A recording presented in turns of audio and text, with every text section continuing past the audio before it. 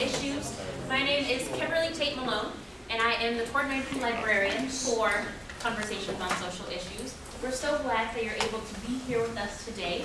The library offers this series weekly because we believe it's an extension of our charge to promote freedom of information and open exchange of ideas.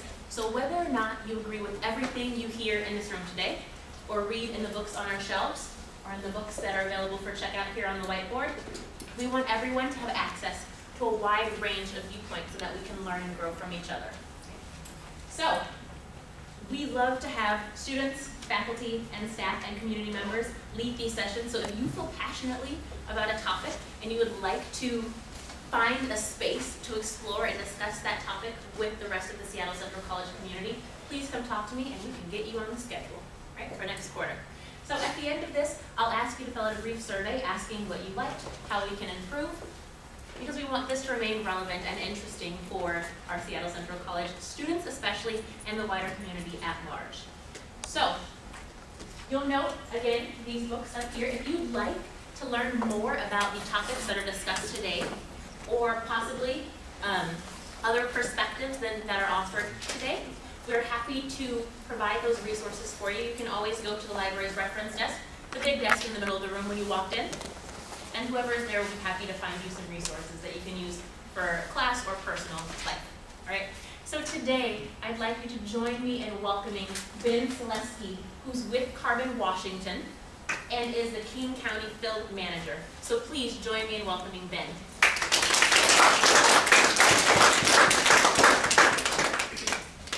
Little black button right there, the forward one.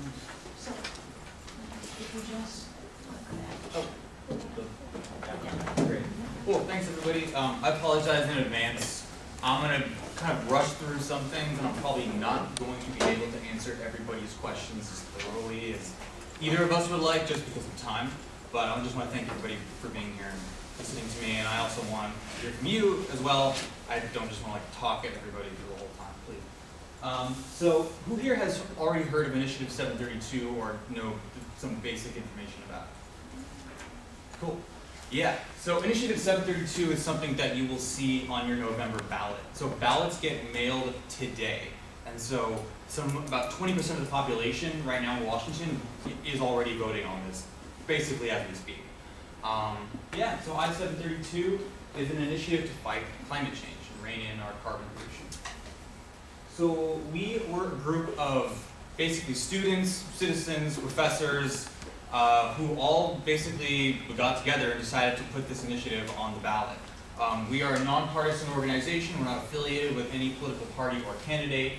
Um, we essentially started out as a group of students at the University of Washington, sitting in a classroom, you know, about a quarter of the size of this, every single week as volunteers, trying to hold down two or three jobs at the same time, and figuring out, okay, how do we put a price on carbon? And so I'm going to be talking about how we formed, why putting a price on carbon is a central and efficient, vital tool of fighting climate change. I'm going to talk about what 732 is specifically, and a little bit about our, I guess, political history, and then take some questions. We'll see how fast we can get through all those things. But yeah, um, so we just gathered in a classroom like this because we uh, thought that putting a price on carbon is such an important but never really talked about way of reducing carbon emissions. Um, and so uh, this got founded by an environmental economist named Yoram Bauman. Um, he was a professor at the University of Washington, and uh, for a couple of years, since 2009, um, himself and a few people were just testing out different ballot languages to put this on the ballot. Um, and then, of course, you know, starting around 2012, 2013, we used to gather every single week, you know, more and more people, students, professors, their parents, their grandparents, all these used to show up and basically figure out, okay, how do we move this forward? Um, yeah, so we put it on the ballot. We filed our ballot uh, in uh, March of 2015. 2015. We amassed about 30 different volunteer chapters all over the state. So we are a basically 95% grassroots volunteer-based organization, um, and we collected 360,000 signatures to get this on the ballot. Um, so this is a, a sculpture in Berlin. And the name of the sculpture, and I always like to show this because I feel like it really reflects how I feel about climate change as an issue. the name of this sculpture is called World Leaders Gather to Talk About Climate Change. Um, and to me, it's just very telling about where we are right now, historically, uh, geologically, um, about where we are with climate change. And it kind of feels like those bad nightmares you have where the monster is chasing you, getting closer and closer and closer, and you're running and you can't move, and you're just your feet are just not moving fast enough to the impending doom that is behind you. To me, that's how I feel about climate change. Like we keep hearing the litany of horrors about all the bad things that are going to happen, and all we have to do is nothing, right? All we have to do to basically dive headfirst into the sixth extinction is nothing. Um, and so this is a really great visual illustration of like why the time to, you know, continually show up for sustainability expos and gala dinners and fundraisers and seminars and webinars and that that time is basically over now. Like we need to start acting and we need to start talking to other people about climate change and not just to ourselves, right? Um, anyway, I just like showing that. Cool. So our goal of our organization is essentially to empower individual citizens to be change makers themselves. Um, also to reduce carbon emissions. We're trying to fight climate change here. And also create replicable positive change, right? We are not naive to the fact that Washington State is like one half of 1% of national carbon emissions, right? We're not going to solve global climate change from Washington State, which is why whatever we do in any individual state needs to be judged on how easily and quickly replicable it is, among other criteria as well. Um, you know, the idea that Congress is going to come together and pass a national carbon tax, I'm not holding my breath anytime soon for that. Um, so our, our, political strategy is that of, you know, the legalization of marijuana or marriage equality or $15 minimum wage, right? All three of those issues didn't even have a chance of being talked about even five, five or 10 years ago nationally, right? And soon enough, state by state, they implemented their own policies and the dominoes fell. And now all three of those issues that, you know, you couldn't even talk about a while ago now have an air of inevitability towards their national implementation, right? Um, I remember when we first approached a lot of these like big environmental nonprofits, you know, as this group of students, and we asked them, we want to run a ballot initiative to collect signatures to put this carbon tax on the ballot. Do you want to help us? And the first thing that a lot of these groups said to us was, you have $2 million? Because that's what it takes to get anything on the ballot. Of course, we had no money, we had no political connections, we didn't have anything. And we're like, okay, uh, sorry, we don't have that money. And so we just went back to the drawing board, and we just reached out to our own personal networks, we reached out to all sorts of different groups as volunteers, and we amassed what would be the state's uh, largest volunteer signature gathering force in history for anything. Um, and you know, a lot of these groups, they said to us like, we'd be you know impressed if you guys got 50,000 signatures. So we ended up getting 360,000 signatures for less than half of the amount of money that all the political insiders told us we had to raise, right? So I like to think of our success at this point as a kind of, you know, antidote towards the political wisdom of how policy is supposed to be made, right? Anyone can put something on the ballot if they want to. Anyone can make change if they want to. Anyway, uh, so this is talking about, I'm going to breeze through some of this just for the time. Um, you know, I kind of alluded to earlier, like, you have to be kind of honest about where we are as a species regarding climate change, right? We are facing an issue that basically no one has ever had to face before. And essentially, you know, we are the first generation to feel the effects of climate change and the last to do anything about it, really. You know, there is an ecological window of opportunity that exists outside of ideology, it exists outside of history, it exists outside of society, and it certainly exists outside of electoral cycles, right? Um, and, you know, delaying action on climate costs lives, and winning too slowly is the same as losing, right? We're not just up against the oil companies, we're up against the clock. And the clock, in a lot of ways, is a lot more ruthless adversary.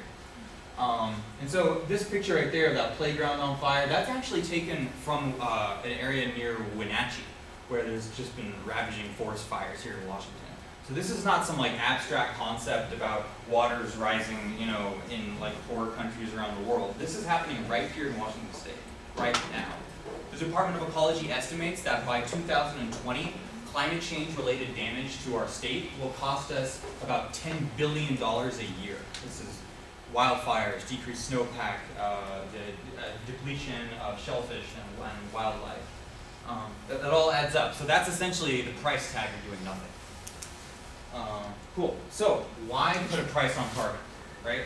Um, this is one of these kind of like wonky solutions that's not nearly as like sexy as blocking an oil train, but in terms of reducing emissions, it's one of the most efficient and powerful tools we have in our climate change toolbox, right? Um, every, virtually every single economist from across the political spectrum, Bernie Sanders, Barack Obama, Elon Musk, you know, they all say that a price on carbon is the most efficient way to reduce emissions in time. It's not certainly the only thing we need to do, no one's arguing that. But, um, you know, essentially if you dump garbage onto your neighbor's lawn, you're causing them damage, right? You're causing them economic damage, and you need to be held financially liable for that damage. The same thing goes when utility companies pollute coal, oil, and gas, right? They essentially get to pollute for free. Not only do they get to pollute for free, but the utility companies are required by law to provide us with the cheapest form of electricity. What is that in most cases? It's coal. And so they are legally obligated to destroy our future. And right, this is an issue that will not affect your parents, right? This is a kind of intergenerational tension of an issue, right? And so it's really been a mission of me personally and as this campaign to have young people uh, kind of spearhead this whole effort because like, you know, our parents aren't necessarily the moral stakeholders of this issue, right? We are, as young people who will inherit and inhabit the future that we're referring to. Anyway, so the Energy, Energy Information Administration model shows that a $25 per, per ton tax on carbon emissions, national, this is like a national uh, chart, would reduce our greenhouse gas emissions by about 80% by 2040. Um, you know, the amount of carbon reduction we need to do to achieve a livable future needs to happen so rapidly and so fast and drastically that it's all it's it's overwhelming, and I understand it. Um, but essentially, just a $25 a ton price on carbon emissions would basically, you know, it would make the utility companies and polluters actually have to be made liable for their damage. And it basically gets the economic engines in place so that we can boost up renewable energy and get rid of dirty energy as quickly of a transition as possible, right? Um, essentially, there's a lot of other things that we need to do besides just putting a price on carbon. You know, I'm all for investing in mass transit. I'm all for you know investing in underinvested communities. I'm all for you know doing a lot of things besides just putting a price on carbon. But in the absence of a carbon price, every single thing that we do to fight climate change would be like trying to run up an escalator that's moving down, right? Our entire economic trajectory is based on artificially cheap fossil fuels right? That we are going to have to pay the price for, one way or the other. Um, anyway, so this line right here, this is like business as usual, right? This is us doing nothing. Our carbon emissions go up. This is a $10 ton tax on carbon emissions. This is a $25 per ton tax on carbon emissions. Um, so when I say per ton, what I mean is that translates to about an extra 20 cents per gallon of gasoline, something like that. Um, anyway, so British Columbia since 2008 has kind of quietly implemented the world's most powerful carbon reduction policy. Um, you know, economists, policymakers, now both political parties, or all political parties in BC uh, are in favor of it, and uh, basically this is what it looks like. So they put a price on fossil fuels, right? But the thing about if you just put a price on, on, on pollution and nothing else, they're going to pass that cost on down to the consumers, right? But we understand that just putting a price on carbon, the whole point is to make dirty energy more expensive, right? But the problem is, okay, we don't want to fight climate change on the backs of low-income people, right? Who suddenly now have to pay more of their income on increased energy prices, right? So one model of like how to basically get around this is called something called revenue neutral carbon taxes, where essentially you raise a bunch of money from the carbon tax and use the revenue um, to essentially offset or reduce existing taxes. So this is British Columbia. They raise about $5 billion a year, and they use the majority of that revenue uh, to reduce personal and business income taxes. And there's also like an offset for low-income families as well. Um, so this is the results of that experiment.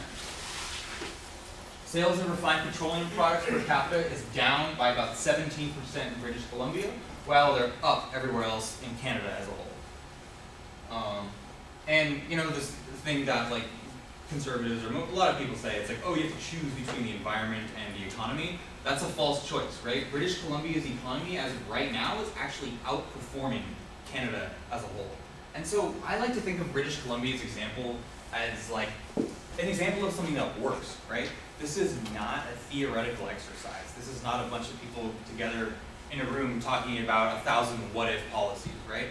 Um, you know, creating policies that can't get enacted don't reduce carbon emissions, right? British Columbia is a real world example, right? Washington State is not going to be the guinea pig here. Um, anyway, so this is what a revenue neutral carbon tax would look like in Washington State. So we put a $25 per ton on carbon emissions. Now, the, the utility companies and refineries are the place where this tax will actually be placed. So the tax itself is going to be placed pretty far upstream. Um, but we also expect and understand that some of that cost will be passed on down to the consumers. We have to be aware of that. Um, so we are using the majority of this revenue to reduce our state sales tax by one percentage point. It may not sound like much, but you know, nickels and dimes add up over the year. That one percent reduction in sales taxes saves the average family a couple hundred dollars a year. Um, so we raise about $2.2 billion of revenue with this, and I'll show you like a visual graph in a second. Um, so the majority of the tax revenue will be used to reduce our state sales tax. A, because we're trying to re, you know, reduce the regressivity of Washington State's tax system, which is the most unfair in the nation, and I'll get back to that in a second. Um, but we're also trying to essentially make families whole again, right? We're, the idea being that if we put, if we make things that we want less of more expensive, we can afford to make things that we want more of less expensive. Does that make sense? tax the things that we are trying to get rid of while taking the tax burden off of things that we want, like sales and income and investment, right? Um, we also identified two sectors of the population that might be disproportionately hurt by increased energy prices. And that is energy intensive manufacturers that are that have to essentially trade with other manufacturers in different states that don't have a carbon tax. So we're essentially eliminating their B&O taxes, which is like a taxes on receipts, so that they'll have to pay for their pollution instead, right? You know, our, our goal here is not to kick manufacturers out of Washington, right? What that would do is that would like, you know, get rid of thousands of living wage jobs, and we wouldn't stop the pollution because they'd just be polluting in Oregon or in Idaho, right? Um, and we're also funding and increasing the working families rebate. Um, this is like a state level bump up of a federal program called the Earned Income Tax Credit. It's one of the biggest anti-poverty programs in the nation. And essentially, with this uh, working families rebate, we uh, would be giving up to $1,500 a year to 460,000 low-income families in Washington. This is essentially the biggest anti-poverty program that Washington State has uh, enacted in decades. But the funny part about this is that this is actually already a law here. It was passed in 2008 by Governor Gregoire, but it was never ever funded. So we have this great anti-poverty program sitting on the books, but no checks ever go out to these families. So we are fully funding this pre-existing law and increasing the money we give them by about 25%. So yeah, the idea being is that we're trying to create, you know, change that makes our tax code fairer, that, you know, fights economic inequality, that reduces carbon emissions, and can have a chance to be bipartisan, right? Like it or not, if we want to have national carbon pricing or national climate action, we're going to have to need some conservatives, right? Climate, or climate change is one of the most politically polarized issues of anything, right? And so that's part of why there's been such a political and policy gridlock, both locally and nationally on this issue. Anyway, so here's like a visual representation of what I-732 would do. Uh, so one of the most common questions I get is, okay, well this sounds good enough, but I mean, why don't we use some of that revenue to do all these other things, right? There's great, awesome list of things that we could use $2.2 billion right? Investing in transit, investing in, you know, uh, underinvested communities, and, and uh, putting the money towards research and development into renewable energy, right? All those things, like ideologically, I'm totally for. Like that sounds great. But there are good reasons about you know using the tax revenue to offset existing taxes. A, like I said, carbon pricing is inherently regressive revenue source, right? So if we use this money to invest in whatever project or research and development that we wanted, that would be great itself, but the people that would be paying the majority of their income for those programs are low-income people, right? Who spend the majority, or who spend the biggest percentage of their income on energy, right? Um, and so, you know, we don't want to place the, the burden of the cost on low-income people. That's kind of the line in the sand that we, that we drew with this policy. Uh, tax increases are hard politically, right? Uh, Washington State has never had an example of a, of, a, of a tax increase ever being passed on the ballot, right? Like I said before, a great carbon pricing policy that can't get passed won't reduce carbon emissions, right? Um, and like I said before, also revenue neutrality does allow for bipartisan support. So currently, I-732, you know, we have a lot of support uh, from the Democratic Party, as we expected, right? But we also have a pretty impressive handful of sitting Republicans who have endorsed us as well. And so, to me, you know, that actually does kind of give me hope. A, in saying that, oh, not all Republicans are climate deniers, and that, you know, they just want a policy that, you know, will reduce carbon emissions, but in a way that doesn't expand government. Great, you know. Um, and so it really kind of clears the path for other national action to happen? Um, and we also have people on the left too who have endorsed this as well. I don't know if you guys saw the the stranger just endorsed this yesterday. Um, we have this wonderful Seattle Weekly cover. Do something! Vote yes on 732. And 11 other ways to make the world a better place. Um, I'm sorry, can you quickly define what uh, revenue neutral means? Yeah, it means that the, the state, we're not increasing how much we tax, we're just changing what we tax, right? So we're not increasing state revenue, we're not decreasing state revenue, we're just shifting one thing for another. We're essentially replacing part of our sales tax with a carbon tax. Yeah. Um, it's kind of like a wonky economic term that I honestly don't like using very much just because it doesn't really mean anything to most people, including me before this. Um, but the most, I think, dramatic reason why we can use this revenue to reduce existing taxes, especially here in Washington State, is because we can improve the fairness of Washington State's tax code. Like I said, Washington State has the most unfair tax code in the nation, worse than Alabama or Mississippi or, or wherever, you know, here in progressive Washington. Um, what that means is because we have a sales tax, we don't have an income tax. Sales taxes hurt low-income families, and they essentially reward the richest people, right? So I'll, I'll, show you what I mean when I say that we have the most unfair tax code in the United States. So this is a sort of different bracket of different income groups in Oregon. And this is the percentage of their disposable income that they pay in state taxes, right? So this is the bottom 20%, second 20%, middle 20%, all the way up to the top richest 1% in Oregon. These are all the percentage of their incomes that they pay in state taxes. Now, we could probably have a whole separate conversation about, you know, oh, maybe they should pay more and they should definitely pay less, but it looks like here, more or less, everybody kind of pays around the same rate. Everybody, no matter what income group you're in, roughly you pay about 7% of your income on state taxes. Um, same thing goes in Idaho, right? There's a little bit of fluctuation here and there, but roughly every single income group, from the richest to the poorest, pay roughly about 7% of their income on taxes. This is California, once again a little bit more in the top and the bottom, but once again, roughly everybody pays kind of the same rate, of around 9 or 10% of their income on taxes. This is Washington State. So, as you can see, it's completely upside down. Um, look at this, the top 1% pays barely 2.5% of their disposable income on taxes. Think of how many rich people we have in, in Seattle, right? Um, and as you can see, the lowest 20%, and even, even the middle, like, they get killed by our tax system. It's, it's incredible, honestly, um, that we sort of put up with this in this state.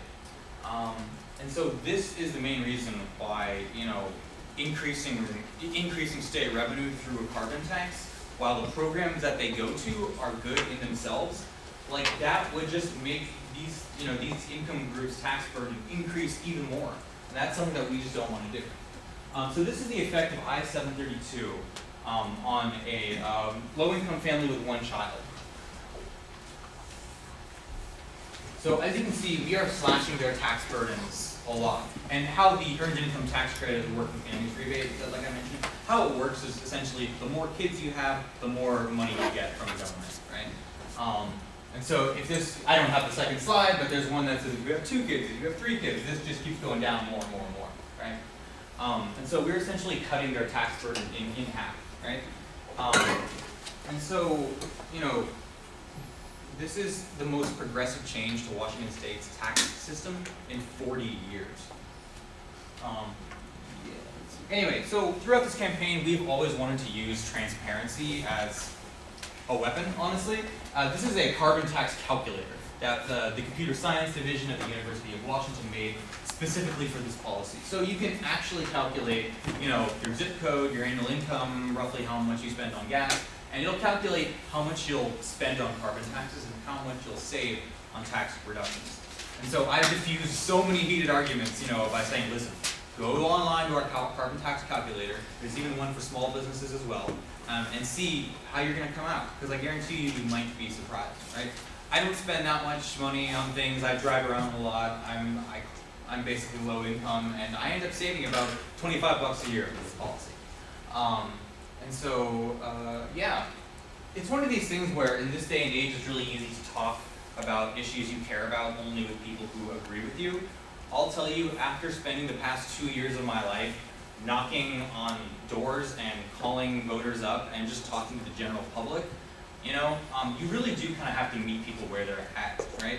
You know, like you have to be prepared to walk into any neighborhood, anywhere in the state of Washington, knock on the door, and be prepared to face whatever ideology is on the other side of that door. And that's what we are trying to do with this initiative: is talk to the electorate, doing something that a lot of other environmental groups kind of forgot about. Um, cool. So why are we doing this now in 2016? Well, for a few good reasons.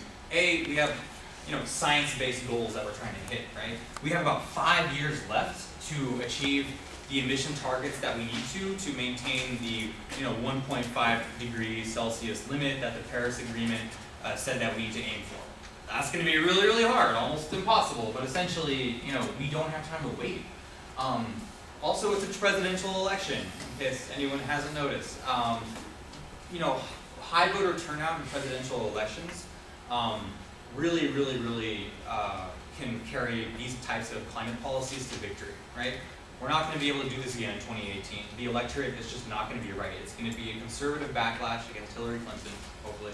Um, and essentially, the next opportunity that we're going to get to do something this big on climate won't happen until 2020. I don't know about you, but I don't want to wait that long.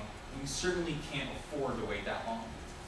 Um, yeah, and essentially, you know, I, I, I don't know about all of your experiences. I'd be curious to know, but you know, I spent a lot of time, you know, in doing protests and you know blocking oil trains and you know the Keystone XL pipeline and you know di- divestment, fossil fuel divestment campaigns. You know, those are all really great things, and they should be expanded upon tenfold, right?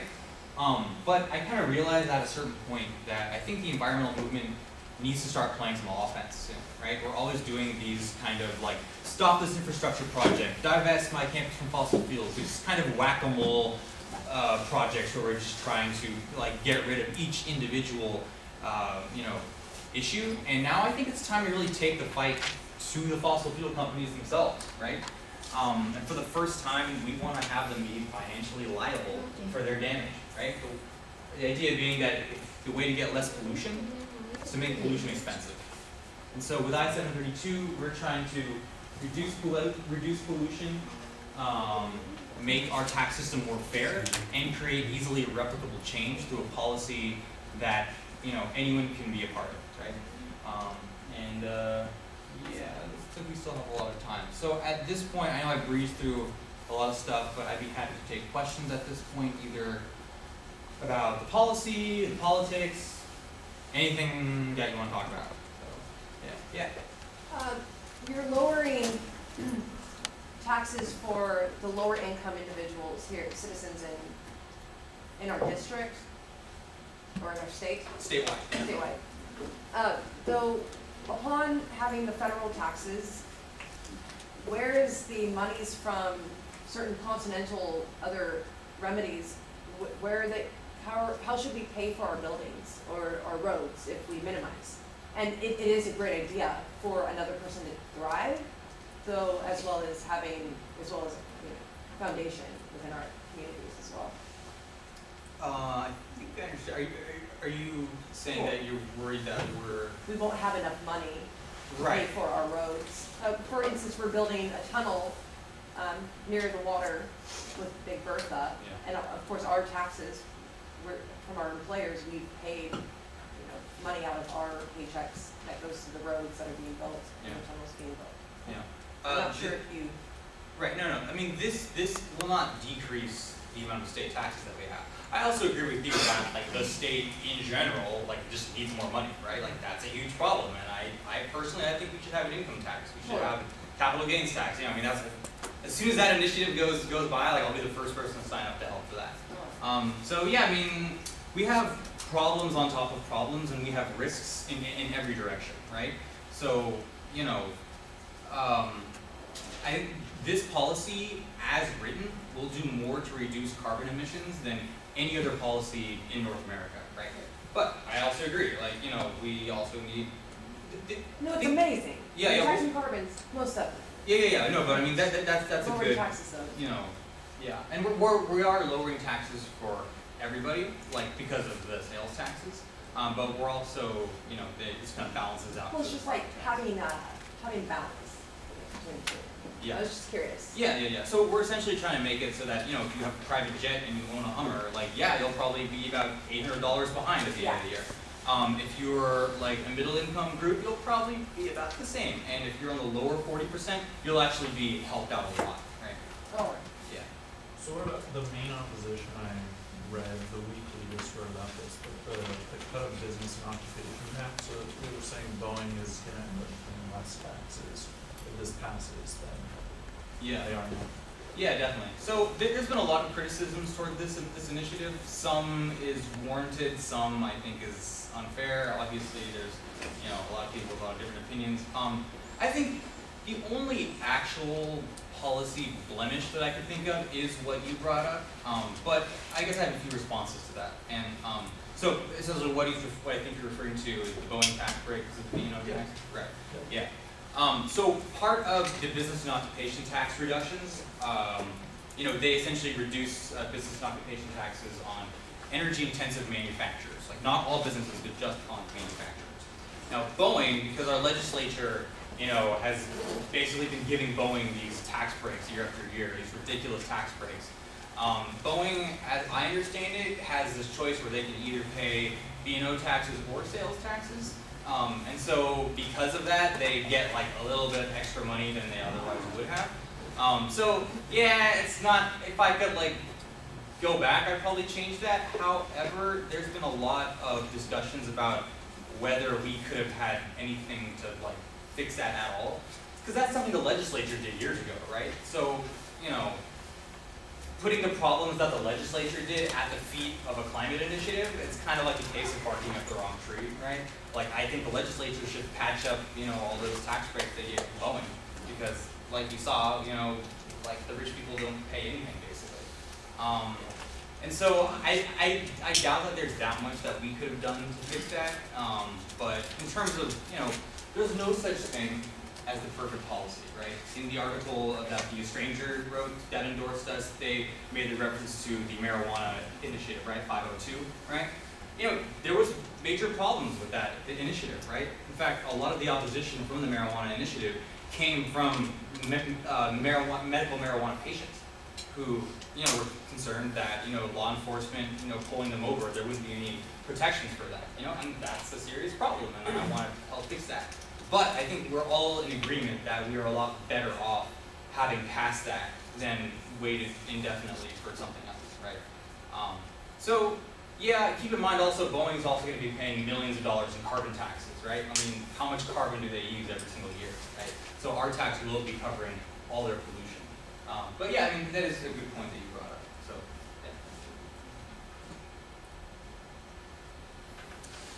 yeah. So if this, um, initiative is passed, what else are you gonna do about climate change? Are you gonna try doing more initiatives or? That's a really good question. Um, I don't know. I feel like the legislature is just so gridlocked, like indefinite gridlock, that I feel like the only way to break through the stalemate, we've kind of seen this nationally where President Obama, you know, he just throws his hands up and he's like, all right, I'll just do an executive order. You know, I'm not going to work with Congress because I can't get any work done. I think going through the initiative process and going through executive orders are kind of the only two politically open roads that I see, right? Um, I mean, Governor Inslee's uh, clean air rule that he just released, like that's going to be tied up in court for years before anything happens, right? Sound Transit 3, I think it's great. I'm going to vote yes on it, but you know, it'll be 25 years till we start seeing carbon reductions, right? We don't have that much time.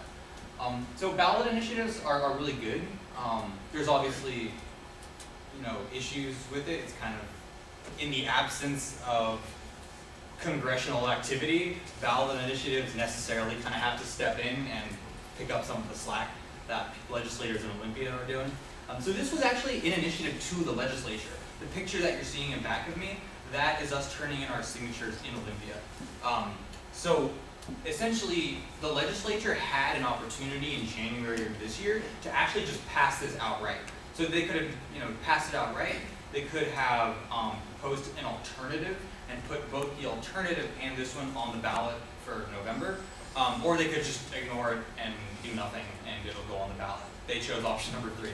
Um, so, you know, they had an opportunity to have this in their hands. And so a lot of people who don't like the initiative process for whatever reason, they keep saying, oh, we need the legislature to do this. The legislature is the right group of people to have this done, right? And I'm like, well, A, this was in front of the legislature. We put it on their lap and they still punted, you know? Um, so, you know, we have to use as many political channels as we can. Both official actors and unofficial actors need to jump on board. So, yeah. Thanks. Sure. Uh, in presidential case, like if the Donald Trump became the president, so he would be uh, agree with the carbon tax. And Donald Trump's president, he would what? Uh, yeah, like he would be agree with the carbon tax because he he, he doesn't believe in uh, climate change. So. Yeah, uh, if he's elected president, among many other problems, would be, yeah, uh, we would have. But he says he wants to like get rid of, of the Paris agreements, right? And, you know, add that to the list of scary things. But uh, yeah, no, he he would probably not like this. Yeah, yeah. So vote. yeah. Yeah. Are there projections for how this will turn out? Like polling numbers, you mean? Yeah. Yeah, so we, we've had a few sort of arrays of, of, of polling numbers. Um, so I'll spill the beans and say that, you know, the first carbon tax in the nation is not going to be a slam dunk, right? It's going to be close, right? I'm going to be honest with you. We're either going to win or we're going to lose by a little bit. Um, there's been, let's see, polling by the Northwest Progressive Institute had us at around 54% statewide.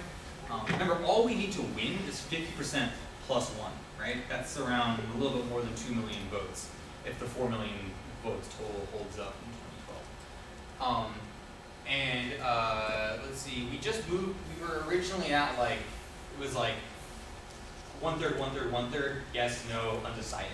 There's a lot of undecided voters out there, mostly just because they still haven't heard of this yet, right? There's probably a million climate concerned voters out there who have no idea this is even on their ballots. And so, I mean, that's part of the challenges of being like a grassroots organization with, you know, a little funding, you know, is that we just don't have resources uh, that a lot of other groups do to get our message out there. But, you know, we're getting it out there, basically, having one conversation at a time, um, spreading it on social media and all that. Um, so we were at one third, one third, one third. Uh, about a month ago, another poll came out that had us move up about eight points. Um, so we're polling at around like 47% yes in that poll, and about 38% no, and but still a lot of people undecided. So um, you know we're moving forward in our polling where the opposition is staying where they are, so that's really encouraging. But you know um, it's gonna be close. So yeah, yeah. I was just wondering how you're using potential um, supporters to either spread that message, so via social media or whatever. I mean, Yeah. how can people that are, you know, behind this help? Yeah, that's a wonderful question.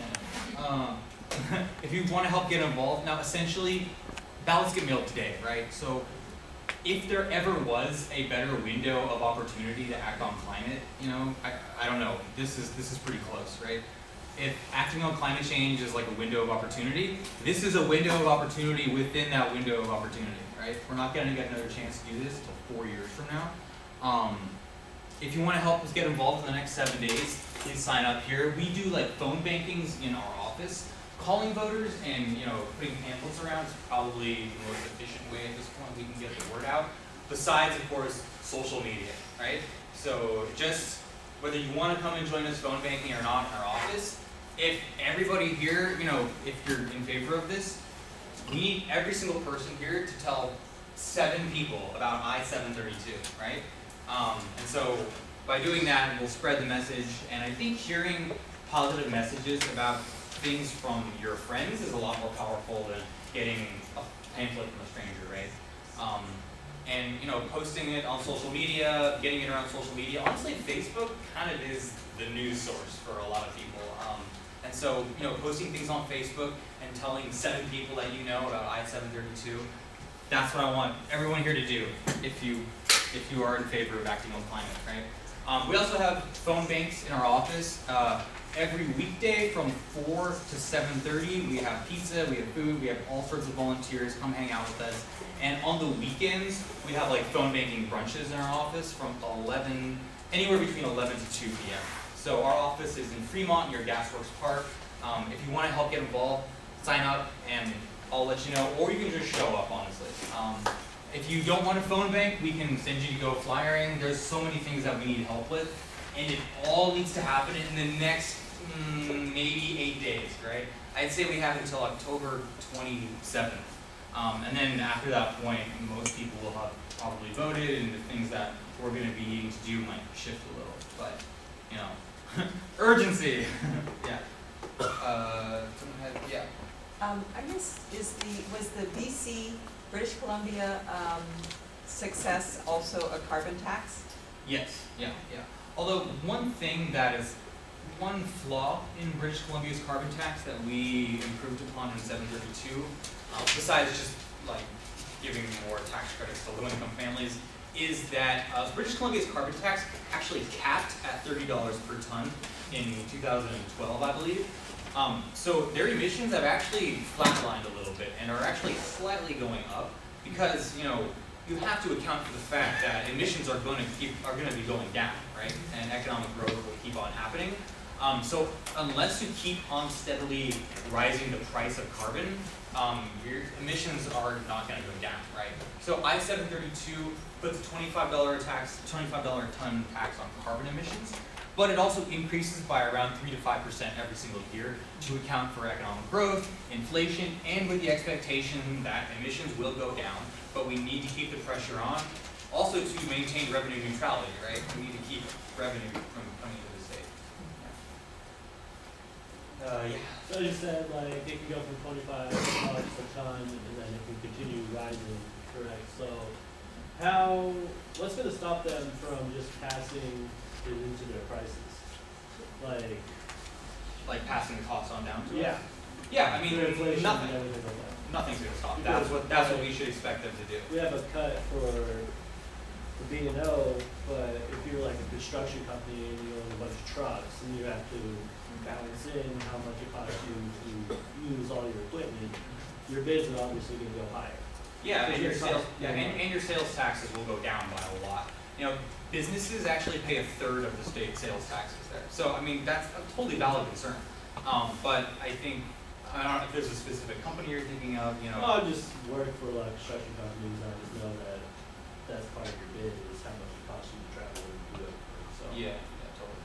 Yeah, um, yeah, I mean, uh, I, I think there's, there's a lot of, uh, there's a lot of worry out there. I mean, I think, like you said, there's risks everywhere we do, right? There's a risk of doing nothing, there's a risk of doing things the wrong way, there's risks of doing a great carbon reduction policy, but also, you know, doesn't account for what you're talking about, right? You're saying there'd be a lot of inflation in those sectors, like the prices are obviously gonna go up for those kind of jobs.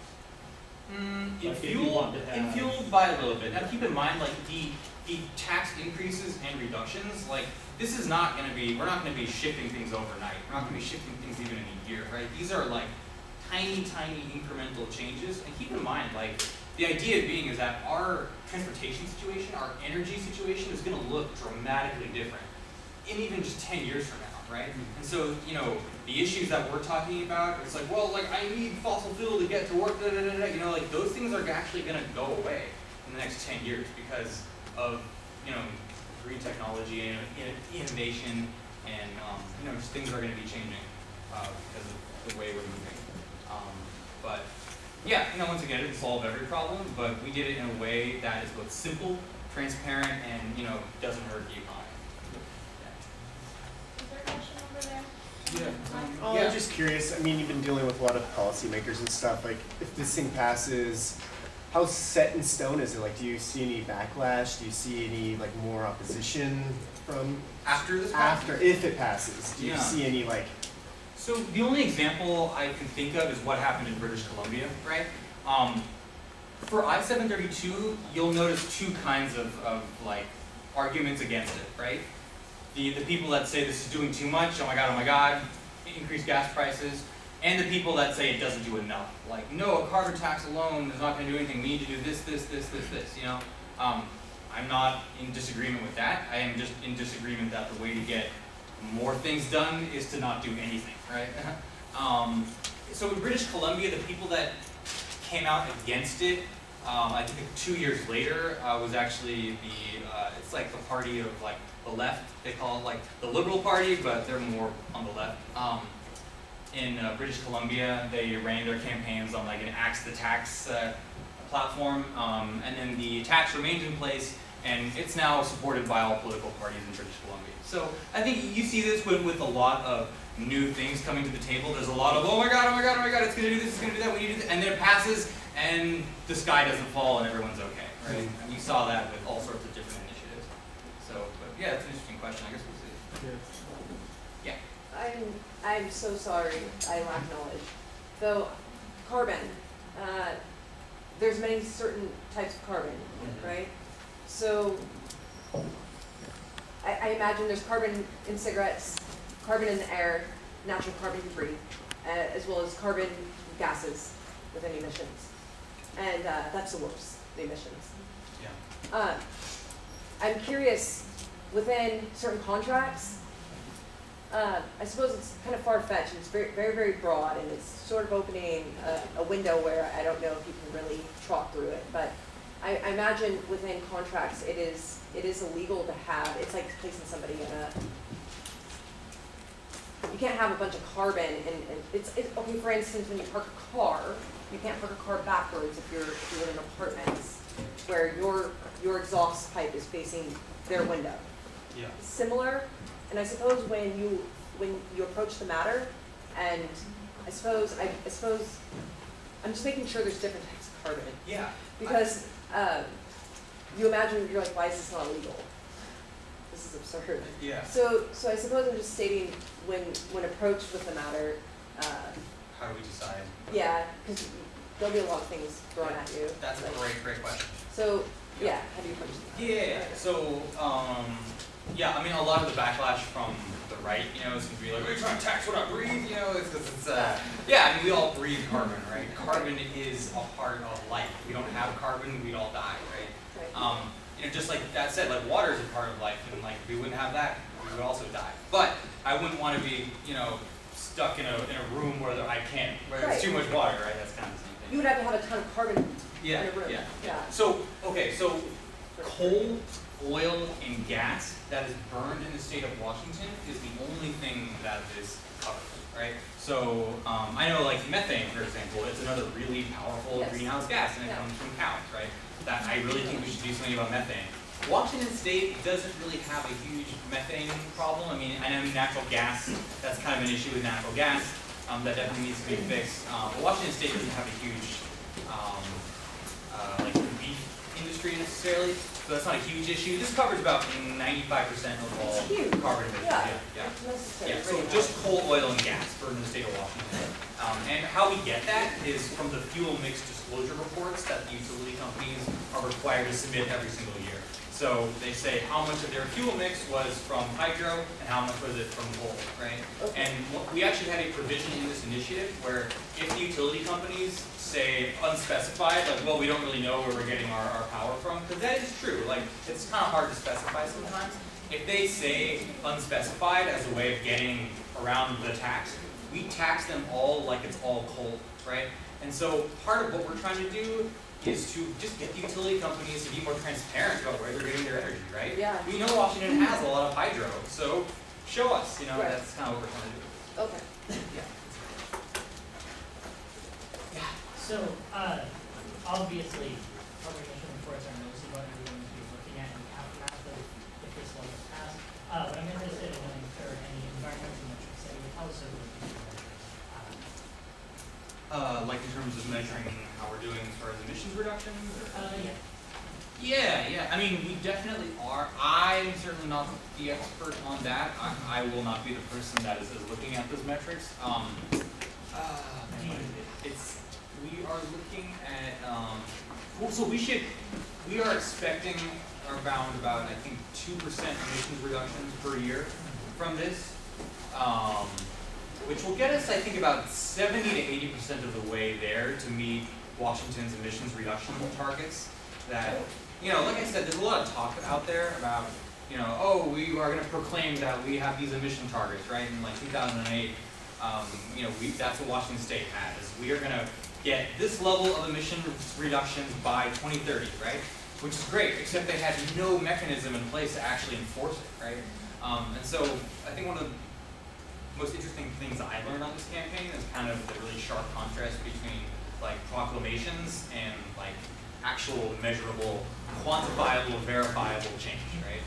Um, but uh, uh, yeah, I'll I'll get you more information though if you want to know exactly like all the, the, the measurements that we're using to calculate how successful we are. And if this passes, Carbon Washington as an organization will stick around and essentially make sure that this policy is enacted in the way that it's intended.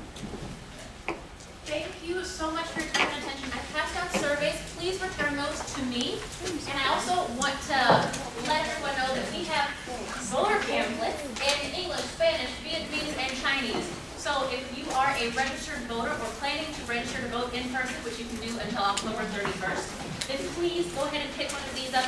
Learn more about this initiative and the other initiatives that are on our ballot this uh, year. And thank